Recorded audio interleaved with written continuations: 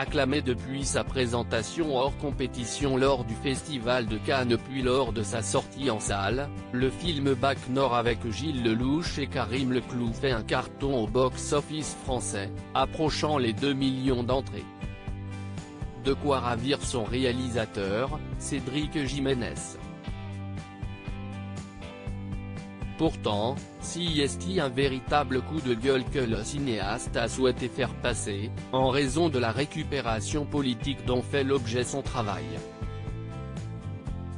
Sur France Inter, il a ainsi réagi aux éloges que l'extrême droite fait de son long métrage, après avoir longuement hésité à le faire. Depuis la sortie du film au mois d'août, plusieurs personnalités politiques ont pris en exemple Bac Nord pour justifier leurs arguments. Ainsi, Éric Zemmour et Marine Le Pen ont cité le long métrage pour illustrer leur vision de l'état de la France et leur politique sécuritaire.